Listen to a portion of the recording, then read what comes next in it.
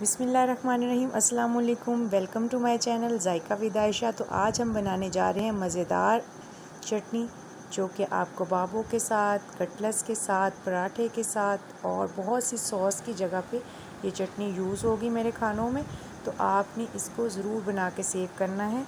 तो इसके लिए जो चीज़ें हमें दरकार हैं, वो ये हैं। एक गठी धनिए की है, एक गठी पुदीने की ले लीजिए, ठीक है।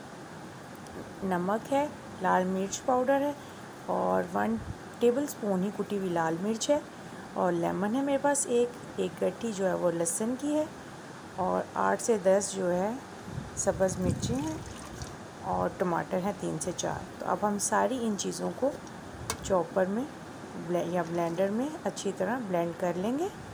बहुत ही सिंपल, मज़ेदार ये टमाटर हैं। तीन से चार हमने इसमें टमाटर लिए, लहसुन की एक गट्ठी है, ठीक है? नमक, मिर्च और कुटी हुई लाल मिर्च है, पिसी हुई लाल मिर्च है।